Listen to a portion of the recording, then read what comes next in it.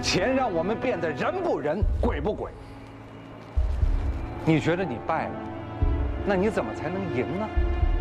拿下香水河的项目你就赢了。颜若水的下场你看到没有？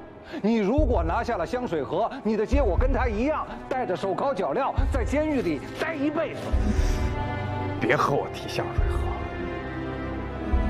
你你现在来告诉我，这个世界有多大有多小了，是吧？以前呢？你你给我做了什么榜样？你都教给我什么了？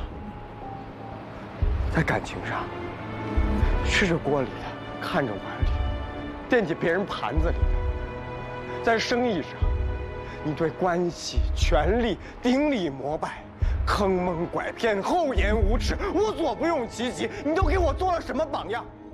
推卸责任，每个人与生俱来的臭毛病。小时候，我们会把弄坏玩具的责任推到别人身上。长大了，我们会把办砸事情的责任推到别人身上，就连我们老了，面对终将会有的生命终点，也会有类似“我还可以抢救一下”的推卸表现。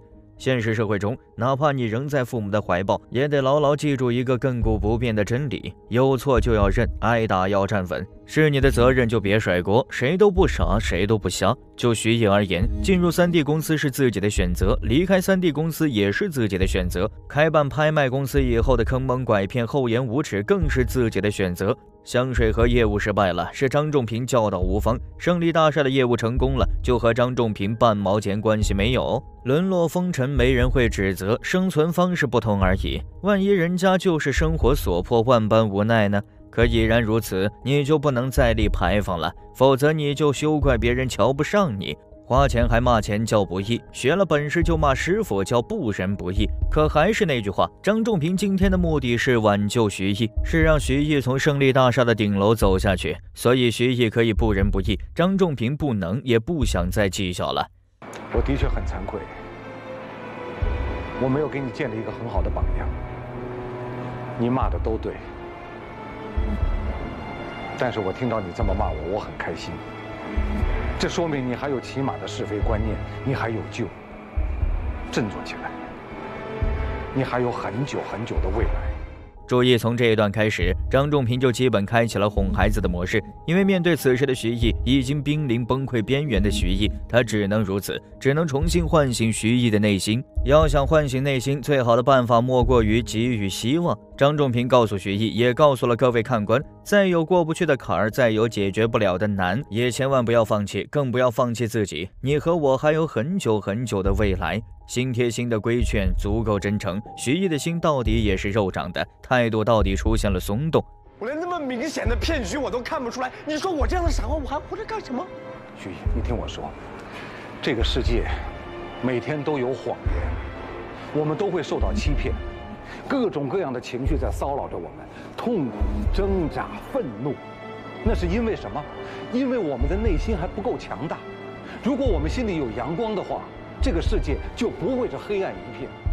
徐艺到底认清了自己，到底撇掉了自己的盲目自信。只不过徐艺的这句傻瓜仍然有着自夸嫌疑。从开始到现在，徐艺本着走自己的陷阱，让别人无陷阱可踩的基本原则，一次次刷新自己的双商底线，一次次挑战做人的基本底线，用实际行动证明了一个反面教材的强悍感染力和教育意义。注意，这绝不能被称为傻瓜，而是半吊子和二愣子的完美组合。只是张仲平劝说还是没起多大作用。徐艺真正的求死原因也并非简单的被骗，而是另有原因。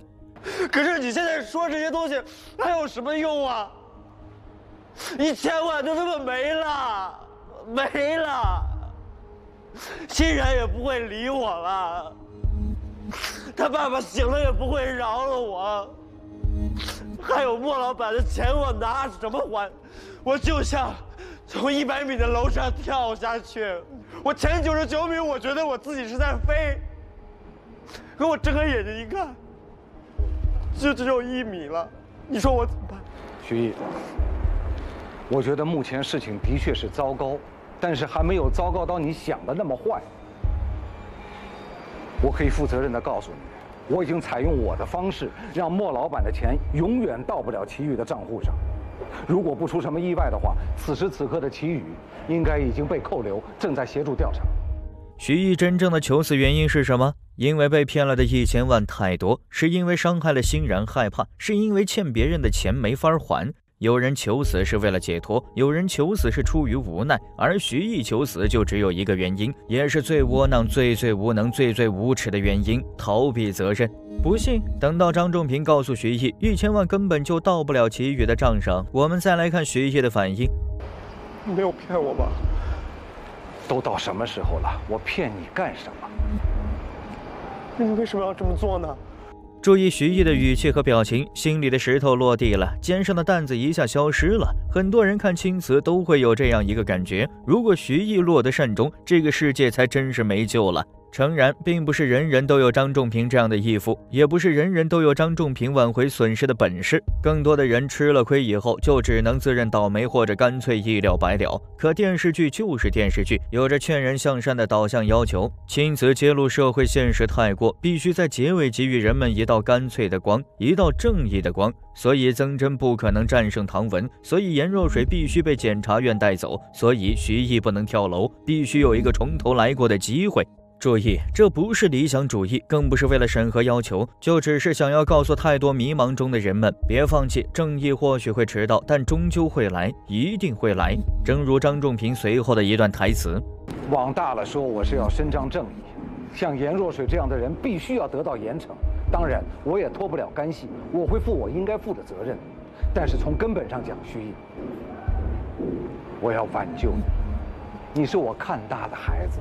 你是我的亲人，我不能看你这样一步一步堕落下去。你迷路了，你知道吗？我也是一个迷路的人，所以我知道，迷途的人走得越快就越可怕、越危险。我不能眼看着你出事儿。徐毅迷路了，需要挽救；颜若水更是迷路，更加需要挽救。只不过颜若水的迷路带给国家太多的损失，带给社会太坏的影响，必须予以惩治以后才能挽救。或许有人会说，就颜若水的具体表现，很可能就会落得吃花生米的下场。这种结局也是挽救？不然呢？不是挽救是什么？有时候杀人就是为了救人。你品，你细品，这个世界毁灭不了我们，只要我们心里有爱，我们一切都可以重新开始。相信我，只要你有悔过之心，每一个人都会原谅你。你有很好的未来，你现在这样跳下去，你让每个原谅你的人没有了机会，你让我和你的姨妈只能每天面对着别人对你的鄙视，对你的不屑。认错就得有个认错的样子，劝人就是有个劝人的样子，劝人就是不断给予希望，就得告诉对方未来到底有多美好。当然，还有最重要的一点，那就是要不断强调家人因此而受到的巨大影响和悲伤乃至绝望情绪。徐艺在乎谁？曾真早就变成仇恨了，欣然只是一个利用工具而已。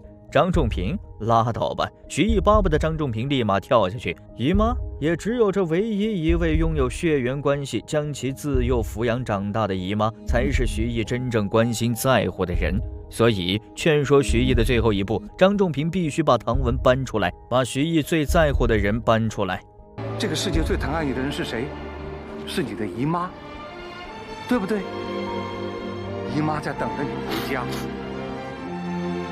你不能让他受到伤害，我们一家人应该好好的在一起，面对未来，我们有新的开始。